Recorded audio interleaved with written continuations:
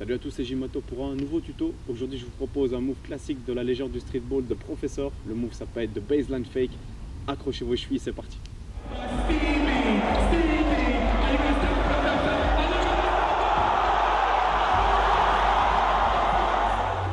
Ce mouvement consiste à faire croire à l'adversaire qu'on va prendre la baseline pour déposer un layup facile. Première étape, il faut d'abord fixer l'adversaire, ok? Il faut le préparer avec toutes sortes de dribbles. Là, le dribble, c'est au choix, c'est comme vous voulez, ok?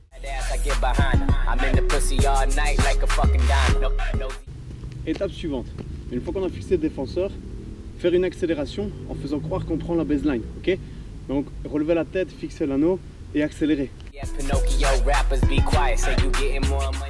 Étape suivante, une fois qu'on a accéléré vers l'anneau, effectuer un changement dans le dos, mais du côté intérieur de l'anneau, ok? Comme ça.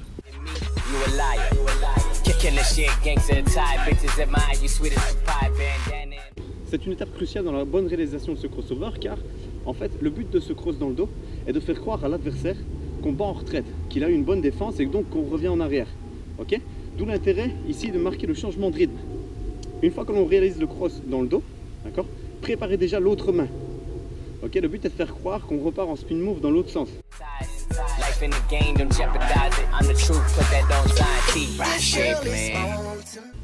Une fois que l'on récupère la balle dans la main libre, il suffit de réaliser un demi-spin, ok? Donc repartir mais dans le même sens, ok? Là l'adversaire en toute logique s'est arrêté parce qu'on a marqué un temps d'arrêt, il s'est replacé et il pense qu'on va revenir en arrière. Erreur, car nous, on va réattaquer le côté gauche, ok? On va prendre la baseline, d'où l'intérêt après d'accélérer et d'attaquer l'anneau correctement.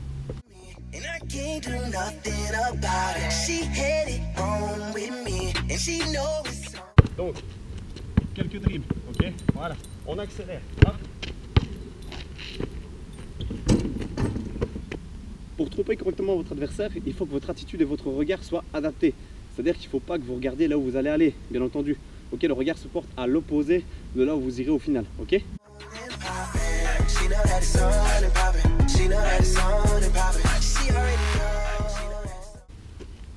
Facile, d'abord, avant de réaliser le mouvement complètement, simplement s'entraîner de derrière, à faire passer la balle dans le dos, récupérer et effectuer le demi-spin, vu que c'est la base du mouvement.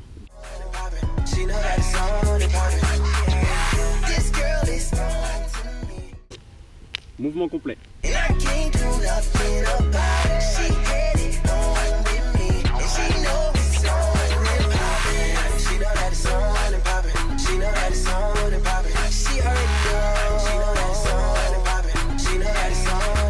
Somebody tell me where the drinks at, where the bitches at. You fucking on the first night, meet me in the back. I got a pound of chronic and the gang of freaks. Move, bitch. Who the fuck you think they came to see? The protege of the DRE. Take a picture with him and you gotta fuck me. Then you gotta fuck Buster. Can't touch Eve. Got something on my waist, say you can't touch Eve. That's my gangster bitch. And like Crips and Bloods, I'm in the. Voilà, c'est la fin de ce tuto. J'espère que vous avez kiffé, que vous avez appris des trucs. N'hésitez pas à partager cette vidéo un maximum, euh, taguer vos potes, etc. Enfin bref, faut que ça bouge.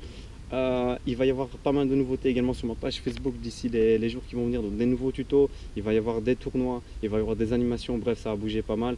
Voilà, si vous kiffez le truc, ben partagez, la, partagez la page, partagez la vidéo. Et, euh, et, voilà, et laissez un petit commentaire si vous avez testé le mouvement, ça va, ça fait toujours plaisir. Allez, ciao, à la prochaine.